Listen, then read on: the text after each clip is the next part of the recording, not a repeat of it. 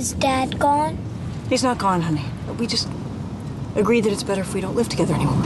I'm glad you kicked him out. What a loser. This is the story of Walter Black, a hopelessly depressed individual. The successful and loving family man he used to be has gone missing. And no matter what he's tried, Walter can't seem to bring him back. What's that? It's a brain. Mom says yours got broken. So you can see that Walter is a man who's lost all hope. But he's about to find his voice. Look here, you. I'm sick. Do you want to get better? Who are you? I'm the Beaver, Walter. And I'm here to save your damn life.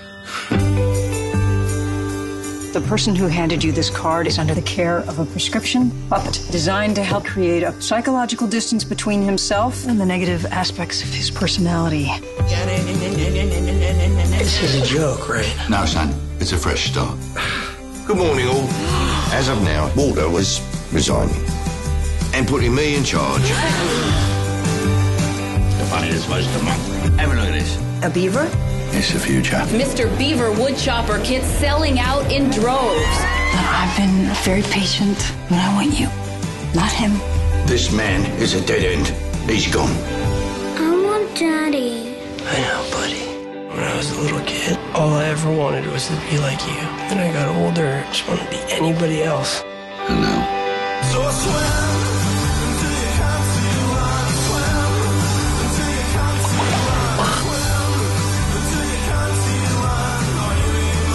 start? We start with a good part.